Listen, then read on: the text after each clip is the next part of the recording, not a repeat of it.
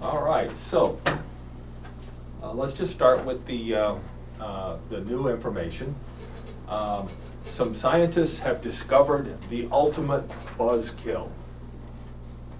The ultimate buzzkill.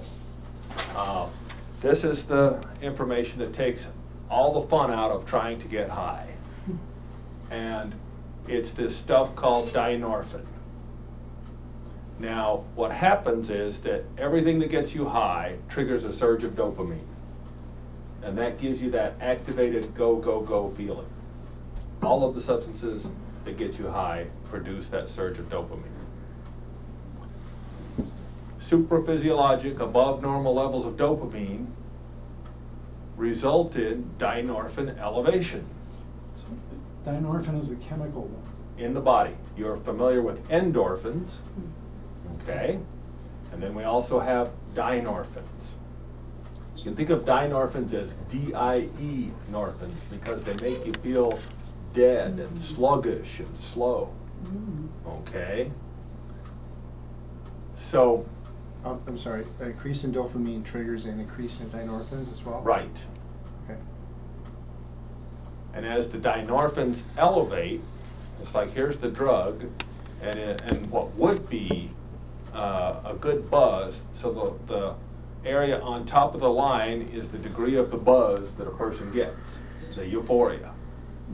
Okay, and you can see that they're taking more and more drug.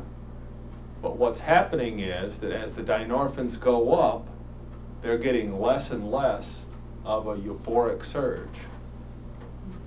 So the buzz is up here, and as this, as the dynorphins go up and up and up, after a while, they're getting very little buzz, very little euphoric effect.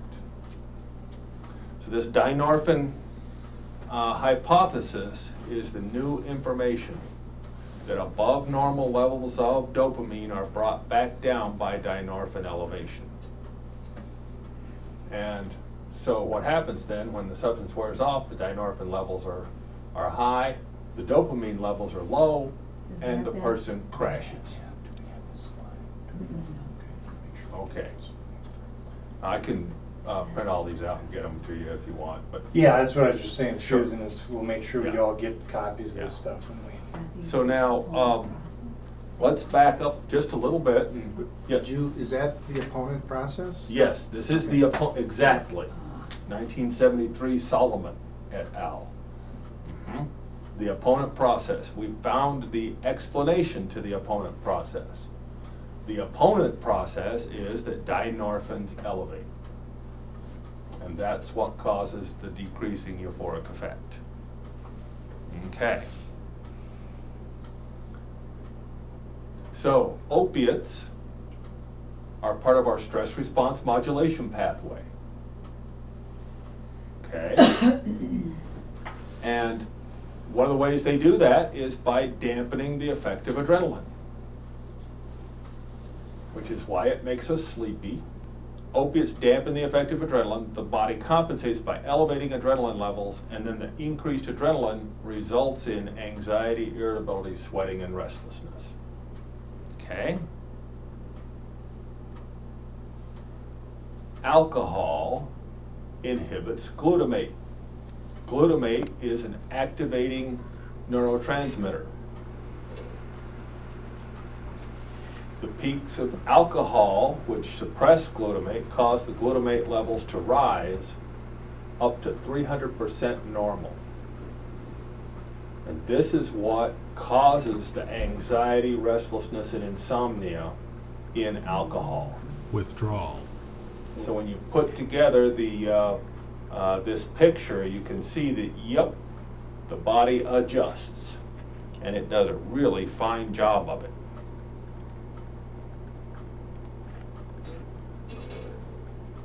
So substance abuse is actually self-abuse, as in dynorphin cultivation. And opiates result in increased adrenaline and dynorphin. Alcohol results in elevated glutamate and dynorphin. Benzodiazepines result in diminished GABA and elevated dynorphin.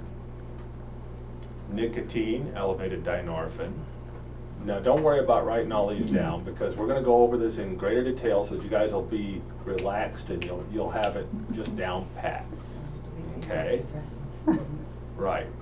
Marijuana results in the elevated dynorphin and some elevation of adrenaline, and it suppresses anandamide, which we'll talk about later. And amphetamine and cocaine result in elevated dynorphin. So these are the basic mechanisms of addiction.